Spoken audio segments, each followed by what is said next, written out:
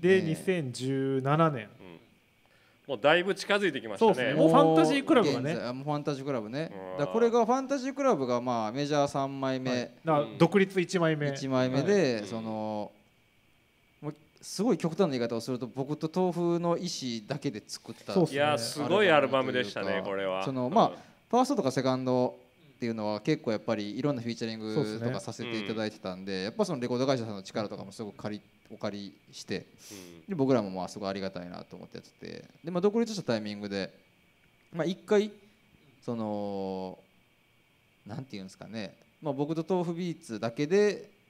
まあ、ディレクションからそうですね。プロデュースプロダクション、まあ、もう制作をもう全部自分らで一回やらせてくださいと。なんか契約が、まあ、ここで更新になってファンタジークラブともう1枚っていう契約やったんですよ。だから1枚目で大滑りしたら2枚目の方でめちゃくちゃゲスト読んで。そうそうもう言ったらもう 3枚目はい。でこけたら4枚目もレコード会社さんの言うこと聞きますよぐらいの、なんで一回ちょっとやらせてくださいって言って、一方でアニメの仕事とかはちゃんとやるんじゃあでみたいな感じで結構その期間的にも結構ずるずる伸ばしてもらったんですよねそうですね。ね結果。まあ、別にそのなんか何何かが不満であったとかではなくてなんかやり方ちょっとちょトライトライさせてくださいみたいな有名なゲストとか呼んでないけど、うん。これでちょっと行かしてもらっていいですかみたいな。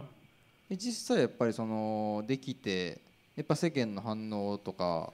自分らの満足度で言ったらやっぱりファンタジークラブはすごいこういいそうですね。きっかけになったというかそのそこまで派手な曲が入ってるわけでもないですし、でもなんかすごい好きな曲がいっぱい入ってて、なんかすごいアルバムとして良かったですそうなんですよね。統一感っていう意味ではやっりぱり一番あるのかなっていう気はしますねですよ今だに。ねなんかこううん。ブレてないというかねこう結構そのなんていうんですか目移りするタイプというかねアルバムとかでも。こううん結構なんか変に手広くやってる感じがあるんですけどこれは結構統一揃ってるっすよねねちゃんとね。うんリミックス版とかまで結構綺麗に一直線って感じなんで。これ出せたのはすごくいいそうですね。いいことでしたね